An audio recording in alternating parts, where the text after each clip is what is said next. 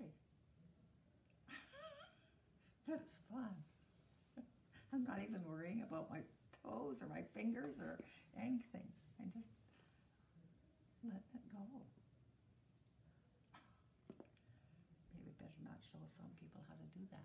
Why not? They'd be cutting off their toes, and fingers. I mean, I, I was afraid to do it. Were you? Oh yeah, but I thought I had, I could pick it up quick.